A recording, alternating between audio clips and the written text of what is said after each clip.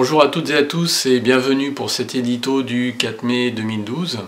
Euh, il va y être question de Facebook, Facebook le réseau social numéro 1 de la planète. Alors euh, vous n'utilisez euh, peut-être pas, hein, si on sait que la communauté du logiciel libre reproche à Facebook son exploitation des données personnelles, sa fermeture.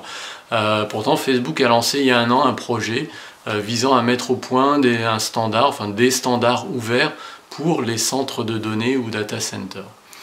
Ce projet se nomme Open Compute, il a pour objectif de rassembler les acteurs de l'industrie numérique pour les amener à partager leurs connaissances et bonnes pratiques euh, autour de la conception de serveurs et des data centers.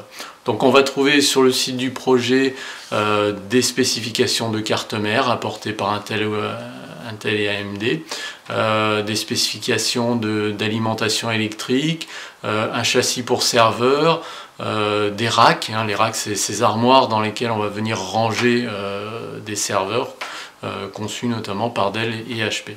Donc tous ces matériels sont également pensés pour optimiser la consommation électrique et donc essayer d'améliorer l'efficacité énergétique globale, on va dire, d'un data center. Alors il n'y a pas vraiment de logiciel pour l'instant dans ce projet, c'est pourquoi on ne peut pas parler d'un projet open source, hein, mais qu'on parle d'un projet open hardware, euh, open source euh, étant un terme défini pour des logiciels. Cependant, on va trouver dans les membres du projet des éditeurs de logiciels comme euh, Red Hat, VMware ou encore Canonical. Ces derniers s'intéressent au projet pour faire certifier leur logiciel, leur solution sur la plateforme matérielle Open Compute. Euh, Red Hat a déjà fait ce travail, cette certification-là, euh, il y a quelques mois.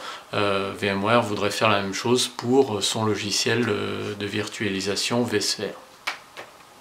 On trouve également dans la liste des participants des sociétés comme Salesforce.com ou Rackspace, donc, qui sont plus probablement intéressés par la possibilité de mettre en œuvre des technologies issues d'Open Compute pour l'hébergement de leurs services.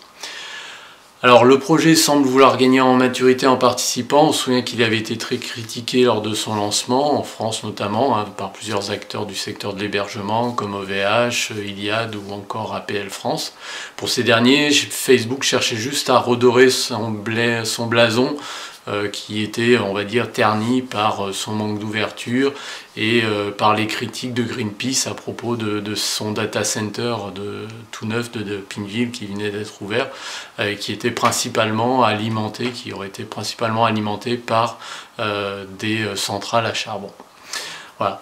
Il semblerait donc que le projet Open Compute prenne un rythme de croisière, même si bah, il va encore falloir attendre un petit peu pour voir si les standards euh, développés par le projet vont réellement euh, se répandre dans les data centers qui seront construits euh, prochainement.